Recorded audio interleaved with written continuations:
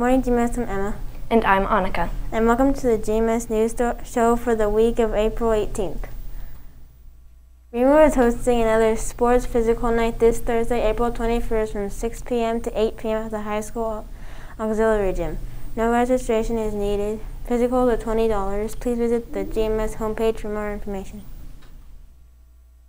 Students, please keep track of your grade through PowerSchool. If you see any assignments that may be incorrect, contact that teacher.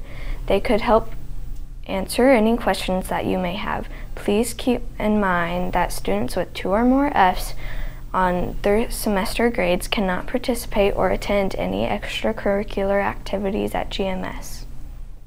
Time is running out to order your school yearbook. The cost is $40. Get yourself one at yearbookforever.com. There is also a link on the GMS homepage.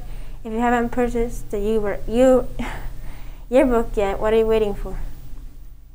Students, please do not share usernames or passwords for any school device or school programs.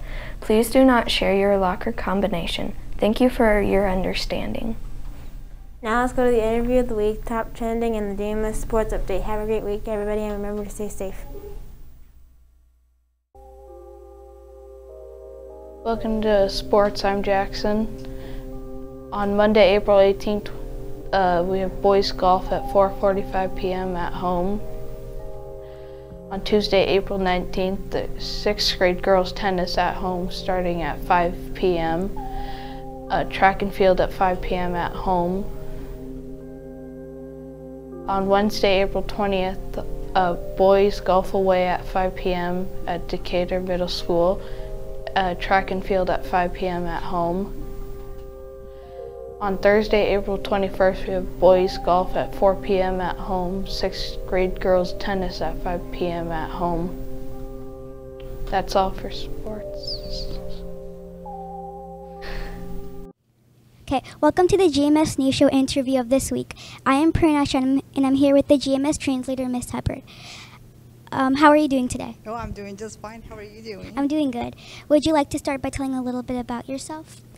Sure. I've been uh, working for the Greenwood School Corporation for more than 20 years. Um, I'm married. I have two daughters who are married, and I have a, a, little granddaughter who's two and a half years old. Oh, that's nice. Um, Qu- question two Tell us a little bit about your job here at the GMS. Um, I work as a translator. I translate forms for teachers throughout the corporation, and I work with the ESL, English language learners, here at the corporation. And let me see what else. I help support them uh, with their English skills and support them in class with whatever they need. That's mm-hmm. interesting. What, what do you enjoy most about your job? I love working with uh, English language learners because they come from different countries and different cultures, and I'm always learning from them. They're fascinating and very kind. What's your favorite book you've ever read and why? Um, my favorite book is The Shining by Stephen King. I've always enjoyed reading ghost stories. Nice. Um, what do you like doing in your free time? I enjoy spending time with my family, reading, and taking walks. Um, thank you for coming on our show this week, Miss Hubbard. Have a great week. You too. Thank you. Hello, I'm Carson, and welcome back to the top five and weird and wacky facts of the week. Let's get started with number one. The largest padlock in the world weighs 916 pounds. For 20 years, a cat named Stubbs served as a mayor in an Alaskan town named Talkeetna. Maybe they talked about that a little too much.